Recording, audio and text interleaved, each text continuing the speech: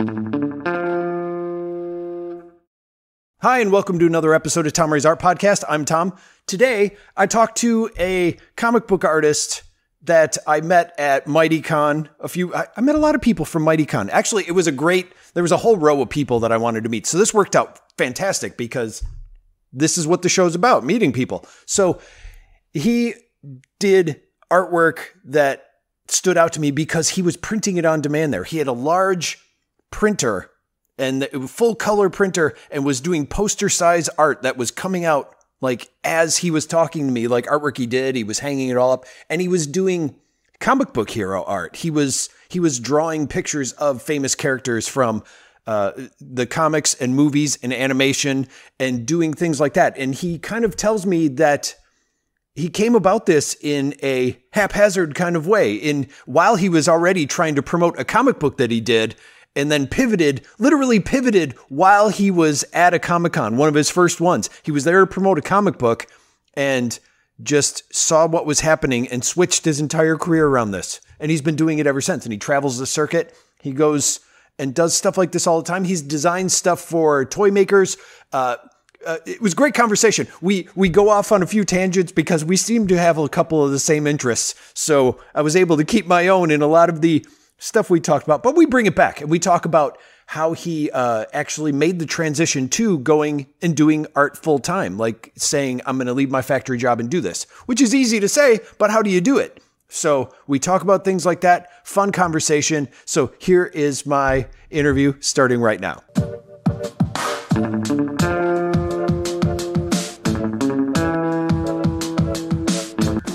Name is Terry Huddleston, and what I do is I draw men in tights for a living. Um, I, I, I, do uh, pinup art. Um, I got uh, my style in particular is um, easy to recognize because I got a couple of weird influences. One, not so weird, is the box art for toys. As a kid, I grew up in a little rinky-dink small town that didn't have access to a lot of stuff yeah. So I didn't know comic books existed. I know this is weird but true. But huh. I, I I watched Superman on uh, movies, TV, and Wonder Woman. That's how I knew that those characters existed. And I would go get the toys, and I love the art on the toys, mm. which happens to be uh, Jose Garcia Lopez, mm. a, a, an unsung hero in the in the realm of um, of comic book art, if you ask me. Because if you have that Superman bed set which we all did, mm-hmm. where he's flying like this. Yep. That's Jose Garcia Lopez. It's like the quintessential. Okay. Yeah. Yeah. See, yeah. He, what's funny is he's, he's old as hell, and he's still drawn for the DC style guy to this day. So all the oh. anytime you buy a Batman gift bag, that's well, it's two guys now. It's Mike McKone and Jose Garcia Lopez working together. Okay. If you've wondered how that art stayed consistent over the course of your lifetime is because one guy, one unsung hero, has been, but he, but he's been a big influence on me because his art uh, translated very well. It communicated the character in a way to where like the logos didn't get covered up, like you could see the full costume. And mm-hmm. if you were going to draw it for yourself, you would you would look off of one of these guys' drawings for for DC anyway. Yeah, Marvel never really had a set um, uh, style guide art. I don't even know yeah, they didn't uh, get into production or like doing yeah. things like that until they started no. making movies. Like they were the yeah. un- they were they did not do stuff like that. Also, no. I was going to say the the artwork since you seem knowledgeable of it. The album artwork I had that I always copied, basically I would trace, is the old Superman Zoom record. You remember that one? It, mm-hmm. it, it, mm-hmm. Yeah, like I want. Yeah, that's okay. Jose Garcia Lopez. That is I, okay. I, yeah, yeah. I bet you. I'm gonna I'm gonna pull up on my phone. I know. I, I, I, can I can guess what image they use. Um, Probably, yeah, to do that because um, um, I still have that record too. Superman is so iconic. Yeah, but you like you just don't know the guy. But I like his art is impeccable. Yeah. Let's see. I'm gonna um.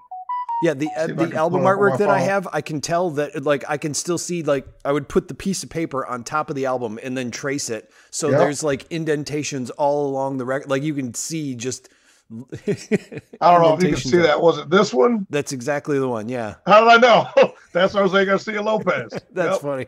Yep. Nice. I like that you had it on your phone, or did you Google that? I did. I just. I literally just looked up Jose Garcia Lopez Superman, and, it, and that's that, what That's how up. ubiquitous his art Okay, is. so your point is made. That's valid. Yeah. Yep. yep. this is another one you've seen a thousand times. Oh yeah, uh, yeah. Yep. That's like and, something and they would put on like wallpaper or like exactly. Some... Yep. He, I'm telling you, he was the guy that if you're a nerdy kid, you were surrounded by his art. If you like DC, the yeah. Super Friend stuff. Uh, Alex Toth is another one that. Oh yeah, um, yeah. Alex Toth, influence. I know yeah, everybody knows Alex Toth, man. That's that's Super Friends and just Hanna Barbera cartoons. Yeah. Um. Yep. Yeah, so you know, anyway, yeah, I, I think I went off on a tangent there, but that's fine. And then my second influence was uh, atlases. I had a fascination with the way maps look, and as a as a little kid, checking out the atlas felt amazing because it was this big giant book Oh, okay. Like it, it, was an oversized book that I would have to haul home like a grimoire or something. Right. And uh, I open it up and I'm looking at Denmark, Sweden, these random foreign lands, and all these roads are going and and and that that type of intricate line work uh, stuck with me all these years. Yeah. As far have you as been? What I, what I like to see. Well, did you actually travel to any of those places? Did it inspire you to travel? I, you know, I did do a, a scooter traveling. I was in the military for a little bit, and oh. with with them, I we went. I went to England. That was about as close as I got to going to those places. But um, yeah. Um, and hell, if you go to New England, you you've been to Europe. like if, if, or actually, people uh, might dispute that, but okay. You, I, I, you go to New England and like just pretty much the old country of yeah. America, like it's you know, you're like, oh god, this smells. This smells bad. Um, but um, and it's just because everything's right on top of each other. Like, yeah, if you live in a more modern city, mm-hmm. um, in fact, I just came back from Seattle. Like, you can't get any more modern than that. Like, yeah. They're, they're using rainwater to flush the toilets. I'm like, you know what? Okay. You guys have galaxy brains over here, and a lot of rain, of course. But, yeah. Um, got to do something uh, with it. You got to do something with it. I was like, that's genius. That's yeah. like I'm just gonna do an extra flush just to, you know, uh, do your part. Use the rainwater, but um, so yeah, I, I but I've traveled all over our country and I've been to uh, Canada a bunch of times. Um, uh, and is that but, you uh, traveled specifically because of the comic circuit? Well, yeah, exactly. Like okay. it, it's um, I was funny. So it's funny you asked me if I traveled. So I never. I, I, I remember what, being a kid watching these old black and white uh, films, and the dad would be like a traveling salesman, and he would come home, and mm-hmm. the daughter would be like, "What'd you get me, Dad?" And I remember thinking like, I'd never want to be that guy. and now I'm that guy. like, yeah, but I, I, I, distinctly discriminated. Like I don't want to be a traveling salesman selling vacuum cleaners and trinkets. And you know, I, it, it, dawned on me like you're not selling trinkets, but Right. You're a traveling salesman. Yeah, so. yeah, kind of. And also when it's what did you get me? Yours your gifts yeah. are probably a lot cooler. They're not just well, like my, a my here's daughter, a magnet yeah. from the bus station.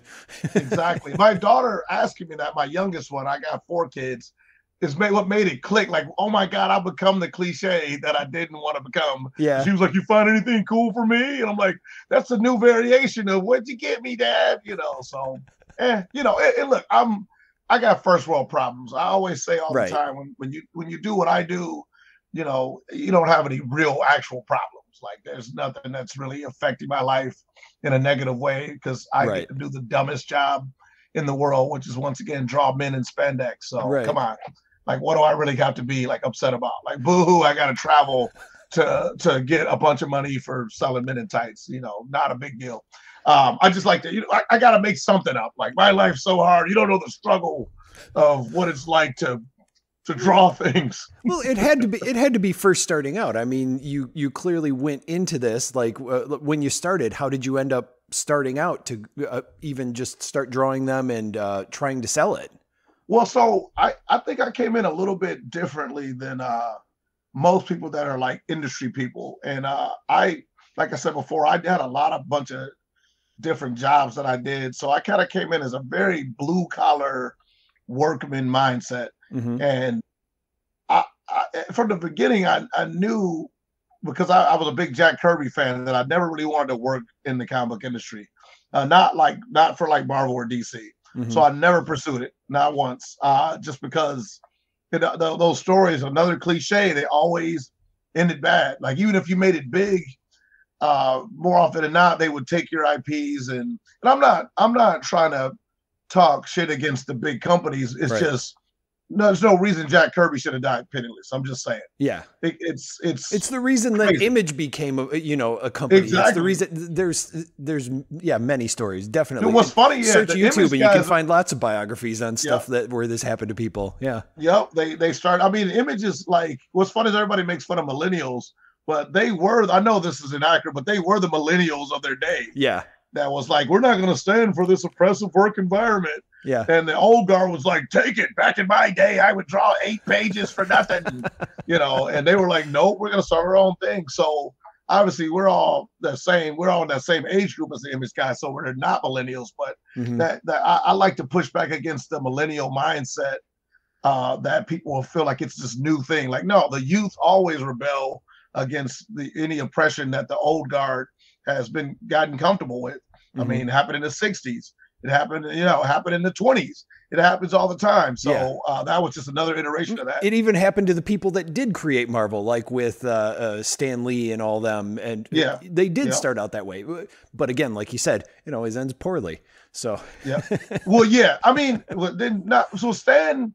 Stan is a is Stan and um Jack Kirby is a is a nice dichotomy of like I, I like to study the black box of both of those men's lives because they they're like Stan Lee obviously was the the PT Barnum of comics. Yeah. Um, but he wasn't like the actual lion tamer, right? No. Like he he just was the guy that had the big tent. I mean, obviously, look, he wrote a bunch of stuff. Don't get me wrong, but it was. I feel the same way about George Lucas, where if people knew that Ralph who Ralph McQuarrie was, uh, he should be a household name, but he's not. Like mm-hmm. only like you know high end nerd people know who Ralph McQuarrie is. Everybody else like Who's that?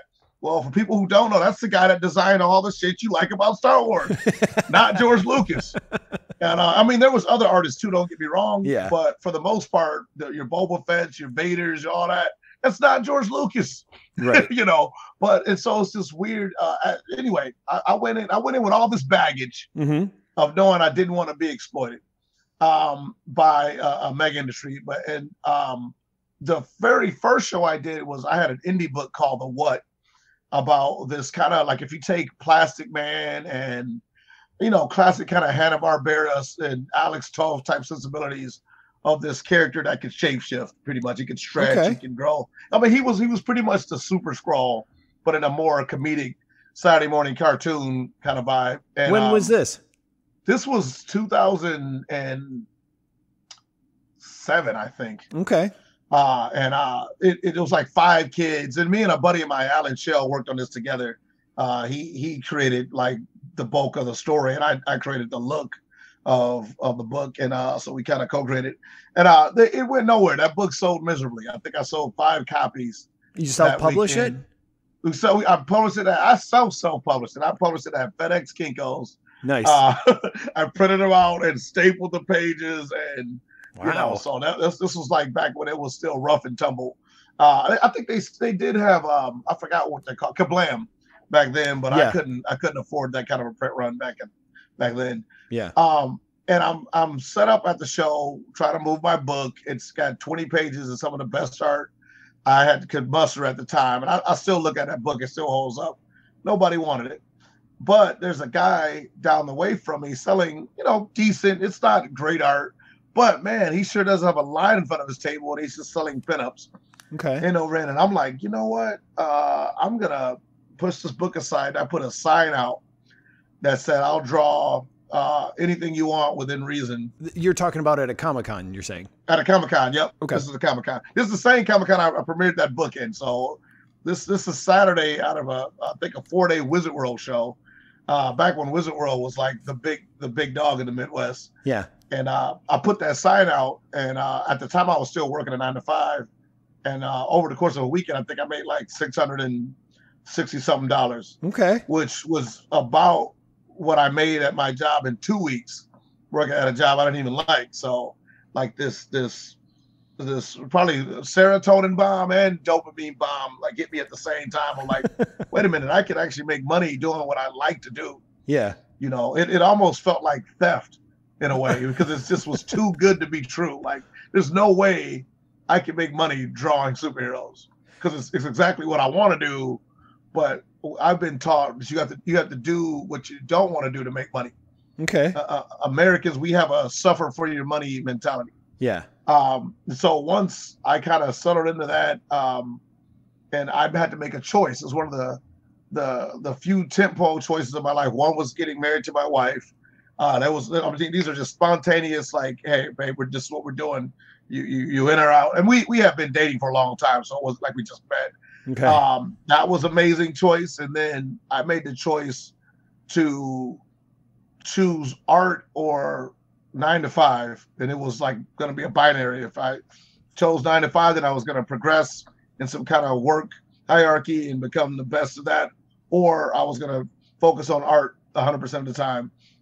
And I chose art, and it's it's such an irresponsible choice in hindsight, but it it led to me getting better faster because it's I'm just devoting 16 hours a day to drawing now. Not yeah. I'm not working a nine to five. I'm not going on the plan. I'm just drawing all the time, and so I was able to basically go from being a, a, a mediocre artist to a decent artist in a relatively quick time. And then, you know, you go from decent to good. And then now I've entered from out of, you know, last five years from good to great. Okay. Uh, and I'm not saying that like, oh, I'm the best. I'm not saying I'm the best artist, but I, I, you got to know your value. You got to know where you stand in the, you know, the realm of, of possibility when it comes to art skill. But you're a self-sustaining artist and and i guess yes. it's it's easy for i mean anybody who draws could make the same decision but how did you make it so that it worked? Like what what was the progression going in? Like that's the hard part. Like and i you know it, it's it's very easy to go well i want to draw and do that for a living. What was the what was the thing that kind of pushed you ahead? Well i had a lot of um i got i had a lot of negative traits and and positive traits but a lot of negative traits that okay I was able to synthesize into positive traits. I grew up as an only child for about 12 years. And then my, my mom, you know, uh, had a little, I had a little brother, but we were just so far apart, like it just never, we never quite gelled together. Okay. And so I, I kind of had this solitary mindset, no matter what. That's one. Two, you kind of develop a, a, a clarity of purpose that people that didn't grow up alone don't have. Like I'm a, I'm a committee of one. Like mm-hmm. I don't really have that desire to impress or get people's approval. Okay. Um, it's it's it's like I said, I'm not saying it's great, but it's it's it's one of those things that has led to me uh, being able to uh, make unilateral decisions, like I said before, that benefit me quicker because I'm not waiting on a bunch of people to be comfortable with something that I'm doing. Mm-hmm. And obviously that's led that's been bad in some way, especially as a marriage. You got you got to work by committee. But yeah. um, and I've I've learned, I've been trained over the years. But um, that being said, um, it, it like if you, I, I knew. Plus, I knew I knew. I I think the, the the the advantage I had, the positive trait I had is that I I already like I explained before about the roadmaps and and, and box art, I already had a clear singing voice. Even I was I was showing my kids, who some of them weren't even born at the time I started this thing, and uh, mm-hmm. my oldest is I think he was like seven or eight. Now he's twenty. But uh, I was showing them my earliest art, and they were just like, like, oh, ugh. I was like, yeah, it's bad, I know. Um, but uh, it it's still consistent. Like I still have a consistent style from back then all the way to now, like where it's and so it's it was kind of fun and cathartic to see that you know the embryonic uh, version of me versus where I am now, and mm-hmm. then you know hopefully I can look back now and go, oh, that's terrible compared to you know how many umpteen years you know into the future that I get. So uh, I, I think having a, a distinct uh, art style, which I, I I dub the singing voice. If you have a singing voice that people recognize um, it really helps you out. You know, once I last started to symmetry in 2010, uh, that was about two or three years into my career. Uh, that's really actually what's crazy. That's when I started getting the most gratification, and that's when also everything took off for me because I was able to uh, really build up a big supply of superhero characters in a in a market that didn't have a lot of superhero artwork in it like you think it would. It's Comic Con, but it doesn't. Mm-hmm. So even to this today, if you go looking for Martian Manhunter, good luck.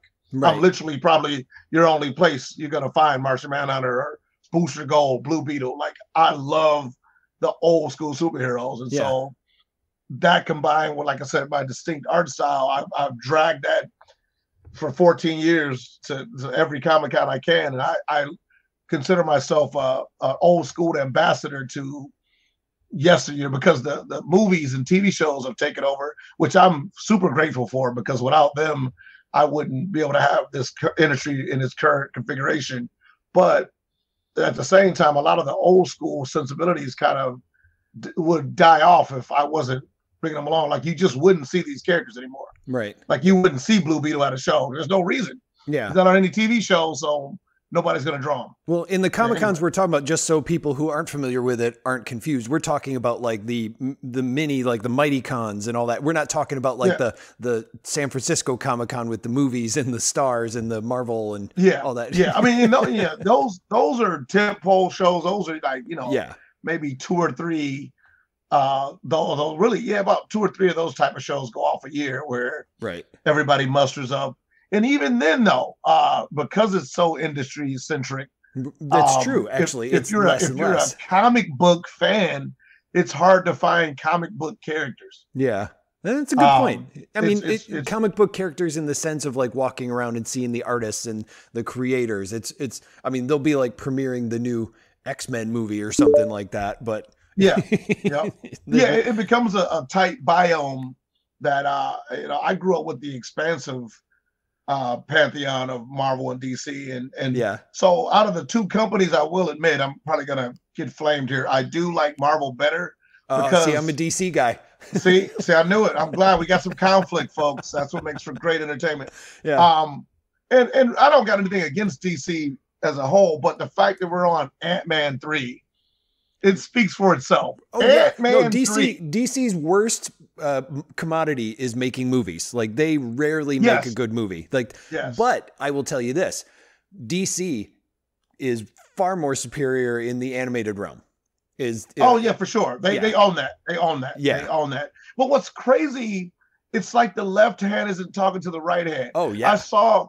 I see this Super Friends, uh, Super Pets, oh, uh, yeah. commercial, and I'm like why haven't you idiots put out a Pixar style 3D animated superhero movie? Yeah. Like I fell in love with that Superman rendition instantly. I was like, that is so cool to see a stylized 3D animated Superman. Mm-hmm. But it's like, no, we're doing the pets. Like, ah, you're so close. Uh-huh. Just do the Justice League like that. You will make a like Disney would have did that 10 times over. Like, and so oh, because yeah. I thought I thought Captain Marvel, Shazam, excuse me, I'm I know it's not Captain Marvel anymore. Uh-huh. Shazam would have been way cooler as a Pixar style 3D animated feature. Yeah. Yeah. In my opinion. Because you could have had the whimsy and the, you know, it also felt like um we're on a tangent now. I oh, felt yeah. like I felt like Jumanji, The Rock and Jumanji was the best rendition of Captain Marvel Shazam that I've ever seen. And what I mean was just that Billy Batson's inside of a humongous guy's body. Right. Like the, the very first the first movie, like he pulled it off where it's just like, whoa, and I and I and I I'm I literally And you're talking about the rock basically he's supposed to be a child. Yeah. Okay. Yeah, the rock right. the child like I, like he did such a good job of acting. I was like like and then think look at you. We're both scrawny compared to him. Like what thinking, what would it be like to be that huge? Like I can't even comprehend yeah being that big. So so I, I was given over to the fantasy of Jumanji more so than I was the Zachary Levi. Yeah. Uh, like I'm like that's the guy in a muscle suit. Like they should have got a guy that we aren't. Like we we physically would have to transform our bodies into these hulking masses to be this guy. And then The Rock obviously has charisma for days. So I felt like that should have been their Captain Marvel yeah. um, character. I know they made him Black Adam, but I felt like The Rock, like Maui was another his Maui rendition it's just something about the charisma that it comes through uh, as for a big guy that you need. Anyway, that, like, one more tangent, just because you made me think of it. Why is it that SpongeBob SquarePants has been 2D art animation forever, but whenever they make a movie, it's in it's in CGI? I, I don't understand why all his movies are in CGI. It doesn't I mean, make sense I, to me. well, I think it's a, that's a corporate thing. Uh, I think the if you think about it, there hasn't been a 2D feature film in a long, long time. Yeah, I suppose and so. so most of the animated stuff, yeah, not as you, so you're not a kid. So you're you're out of the spotlight that they're aiming at, so you don't give a shit. I, I watch quite a few cartoons for an old person. no, I'm, no, I'm saying, I'm saying, you're like, you, it probably just dawned on you, like, wait a minute, there hasn't been any flat 2D animated items since we were kids, Yeah, I maybe so. teenagers. Yeah, I remember seeing Lion King in theaters, and the only reason I remember is because I saw um, David Robinson from uh, the San Antonio Spurs at the time, Uh-huh. and he was so tall, he was like a whole human taller than the crowd. I look over, like, holy shit, that's David Robinson. Yeah. I mean, I didn't get to meet him or nothing, and so you know the story goes nowhere. But um, yeah, we don't we don't watch 2D films uh, in the theaters anymore. Mm, True. But uh, 3D, I think, is considered the cinematic standard now, and that's that's probably the answer to your question. So there Yeah. you go. I'm just more of a fan of the 2D art. Anyway, I'll be able to wrangle this back to where we were. Okay, so my main question here is um, so from this time you were you had spent all this time creating a comic that you actually were going to promote at the Comic Con, and you quickly did a a pivot, which is a good thing in business. Uh, you, you look where the market is, but you spent all this time doing it, and now you're drawing uh, the the portraits. First of all, how long did you spend on the comic? Just to get some backstory on on the amount of time you spent before you realized, like, oh, I could do this other thing. I think that comic was at least a year, maybe a year or two in the making. Like it did not. It wasn't something that was fast. I mean, you know, this is once again we're working. Both of us were working jobs, nine to fives, and all that. So it was it was strictly a hobby. I'm not saying it took me two years, but Right. you know, I get a it, page or it two. wasn't done that and- that's what you did every day Yeah. for two years. Yeah. Okay. Yeah. Well, that kind of actually. Well, after well, not not the only thing, but yeah. Right. Um. So, but uh, and he he learned that a lesson acutely too. We we laugh about it, like how brutal it is to sell an indie comic, uh, direct sales. Like it's the the irony is this: it had 20 pages of art that I was selling for I think five bucks, Uh-huh. but now I can sell one page of art for 200 bucks. That's yeah. Yeah. It's it's I, it's voodoo economics, as they used to say in the 80s. Like Yeah. I don't I don't I don't fight it. Just people don't see value in collated art, hmm but a single piece pr- presents as more valuable to them. Even though from my end as a producer, it took me way longer to produce that book Yeah. than it did that single piece of art per se. hmm But they see more value in the single piece, so the, the market decides. So you go with what the market is. uh And this is even know. before where uh, attention spans got shorter. Uh, now Yeah. it's just like it's really quick to get very popular from posting a picture online. Uh, Yes. Whereas back then, you were just it was people you were going to a show, tabling, setting up, and people were coming to look at it and going, "That's great, I'm going to buy that." Like it was it was Right. the it was the long game comparatively now. Which how did you so you're drawing you said you're drawing uh the comic book characters and stuff like that now are you just kind of uh living sort of dangerously here like how are you No, able to no, draw the, no. the characters So in the beginning, I definitely thought that myself too. Like, man, I wonder how long this is gonna last. yeah But um, pretty much they kind of treat us like indie bands doing cover songs. okay It's a privilege. It's definitely not a right if they give us the privilege to do unlicensed fan art. But there also is no way to do licensed fan art. Anybody telling you they're doing licensed fan art is lying to you. okay There's only there's only like a handful of people that work for Marvel that have licensed art, but there's no such thing as licensed fan art. yeah Like that's Marvel's art. You know what I mean? Like so, there's Mhm. like fan art are, are already should let you know that it's not Marvel. Like if Marvel owns it, then the artist that did it is, is able to sell Marvel's art. So J. Scott Campbell, Greg Horn, guys like that yeah have have a, a, a limited license, but they still can't just do whatever they want to do. If they got to run it up the chain, get it approved, da da da da. uh-huh. Uh, us, on the other hand, we don't have that, but they allow us to do unlicensed art. Now, I've often actually wanted, and still to this day, I would love to have a, I call it a path to citizenship. If they had, okay, you know, you're an indie artist, uh, give us, you know, some, think of some number, five, 10K, you get a license for X amount of years. yeah Uh, like a, like one, a mechanical be- license yeah, exactly. Yeah. Yeah. It would beat a lot of people out, uh, which would be great for for the industry, in my opinion. And it also would, you know, uh, I think it would um, give it more of a seriousness.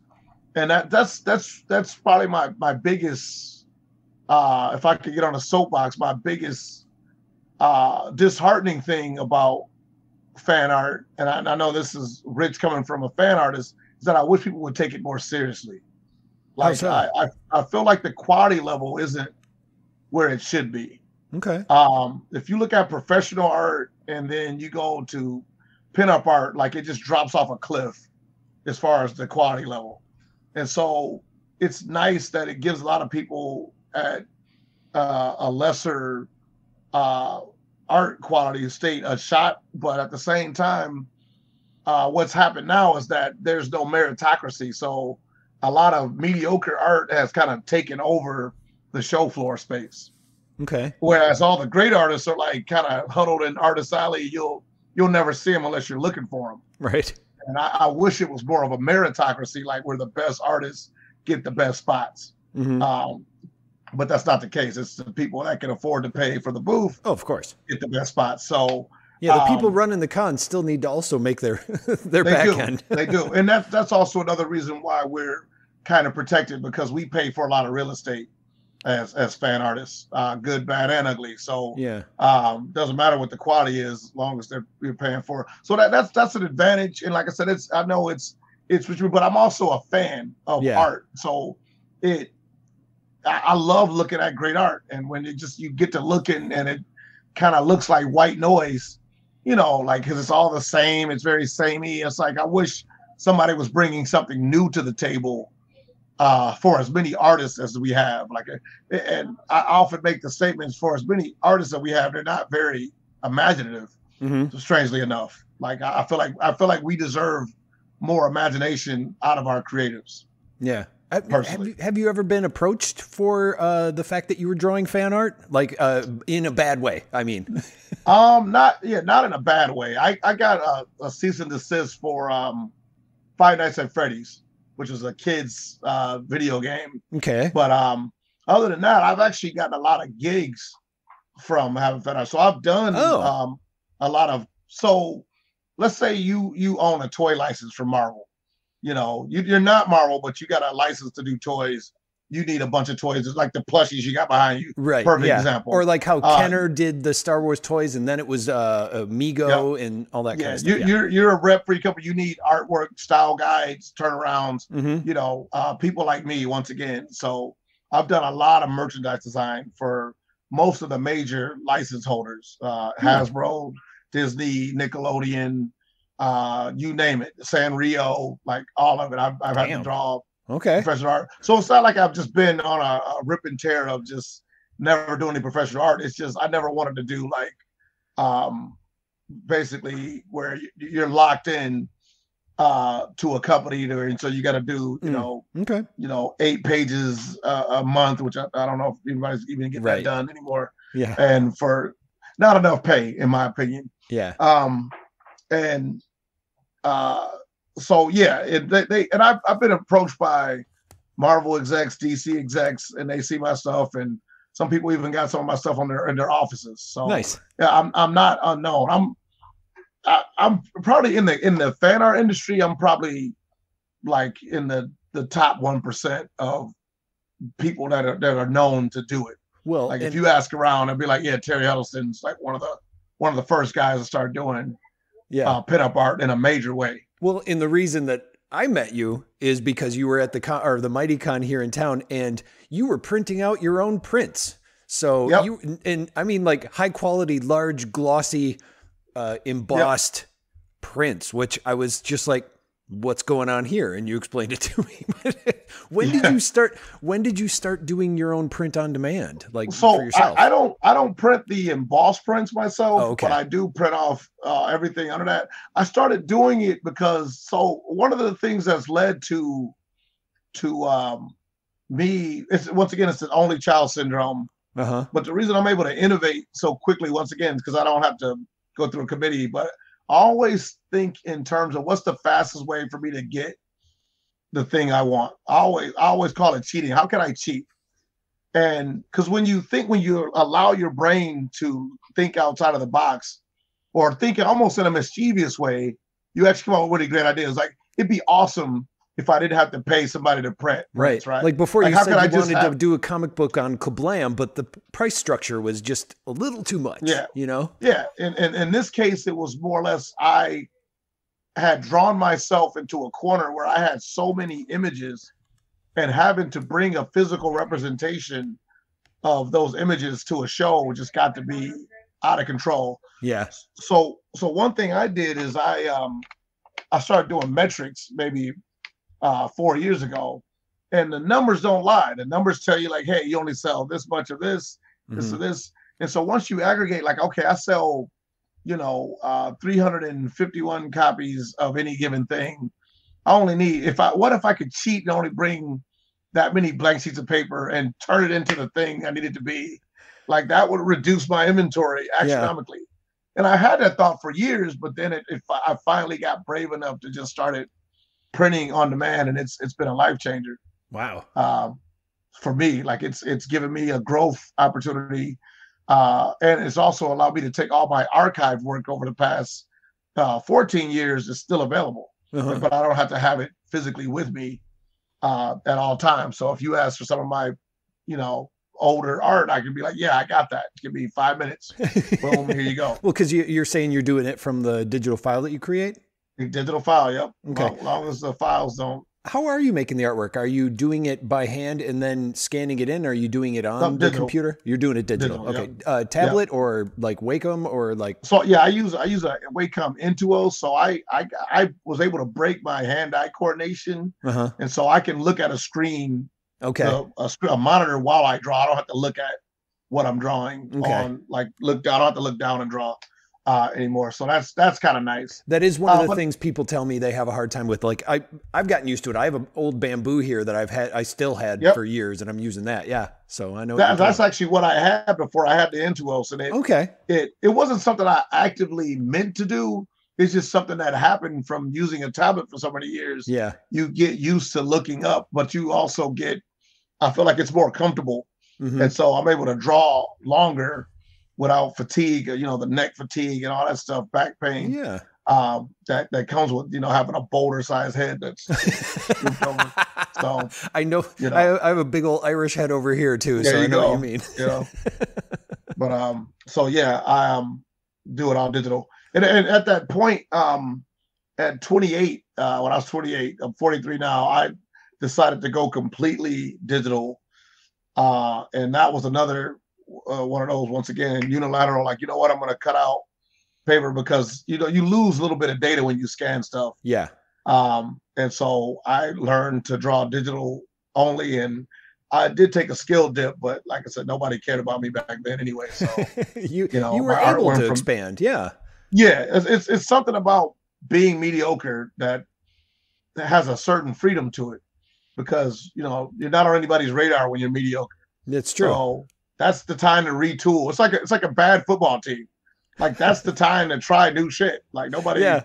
cares about. Like you got the fans you got already, and you're not gonna get any new fans unless you do try something different. So right now that's that's the time to really rock and roll.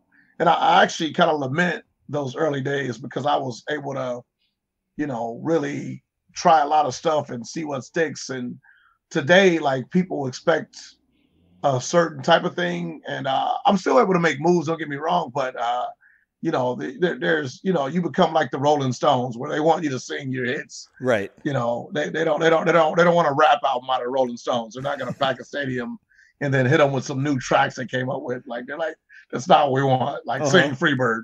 You right. know, not Freebird. You know what I mean? But yeah. Um, get it. But um, yeah. So there's that. But uh, it's it's been a um a, a, great uh, career, and I definitely, like I said, I wouldn't change anything uh, for the world. I've, I've learned so much. It's one of those industries. I, I feel like this is with any micro business mm-hmm. where I, I feel like I got paid a lot of money to learn things mm. and do what I like. It's it's like a weird synergy to where I got to draw every day and get paid to educate myself on how to run a micro business. Yeah. And I, I think I coined the term micro business. I haven't heard anybody else use it. But uh, once I, I think I've heard how, it, but I'll give it to you for this. Okay. Yeah, no, hey, hey, that's why that's why I don't want to be like, all right, I don't want to be like Trump, like I made it that it's my word wrong. But uh, listen, so Uh, the reason I, I coined the term, or at least think I did, is because small business is like every people are like, oh, we own a small business. Like, no, you don't. like, small right. businesses make hundreds of millions of dollars. Yeah. like, like you're so far away from a small business. Like we kind of put ourselves like they're doing tax breaks for small businesses. Like that doesn't mean you. Right. Like, you know what I mean? Like we people like, but so I actually, for political reasons, I actually think we should have a micro business designation so people like yourself can get stimulus money uh-huh. and and and pretty much get the corporate welfare for the regular one-off guy because we're not going to hire 100 people but no. like if you put money in our hands you're going to run out and buy more film equipment mm-hmm. and stuff you need and probably some toys too. But you know I'll probably buy toys. you know, but but it's, it's for work purposes. But uh and the same thing but but realistically like with now that these um stimulus checks are, have been coming out for the past couple of years people like you and me, I invested in the business. Oh yeah. And people that didn't invest in the business invested in us. I and my internet sales skyrocketed over 2020. Yeah. I never had any good online sales whatsoever. And so I actually was just leading up to asking you about your online sales. So I'm glad that you brought it up. So yeah, yeah. there you go. Yeah, my, 2020 basically put me on the map. Um, I I did some things to my website right as the pandemic caused the first shutdown or the beginning of the shutdown, and um, got my site together because I had had it for a couple of years, but it was really terrible. Mm-hmm. As a mm-hmm. matter of fact, a customer had sent me an angry email saying, "Why is your website so terrible?" and um, I, I, I, I, just shot. I don't know. And what's funny is I, I was doing well enough out in Comic Con world that I could I could be a bad dad to my website. Like I was ignoring it and yeah, not um it is one of those things where it's like what do you spend the time on? Do you spend it on uh, stuff that's currently making you money and then you can blow off the stuff where it's like well that will probably do well but i don't need to do it right now. And yeah right. and then it gets farther and farther away. I know the feeling. yeah no yeah yeah. I mean it, it is boring. It's boring as sin. Mm-hmm. so like you you're bored you're like oh i gotta okay move the but i finally did all that and then literally the next day like things are happening. I'm like whoa that's mm-hmm. that's the universe answer my call like right away. Like that was probably one of the fastest turnarounds of a call to action and then a response mm-hmm. to that action. And so it gives you that that uh, Pavlovian effect of like, what else could I change that's gonna also change immediately? And so you you start getting to this mode of you know change change change and uh, it's it's it's been it's been fun but yeah so yeah web online sales are good um you know, no, I'm not making like an insane amount of money. I couldn't live off of it. Yeah. But it's definitely it's a market that isn't there. Nice. Yeah, it's oh, the, yeah. you have the ability like you can make a sale at like midnight and you didn't have to go anywhere. You know. no.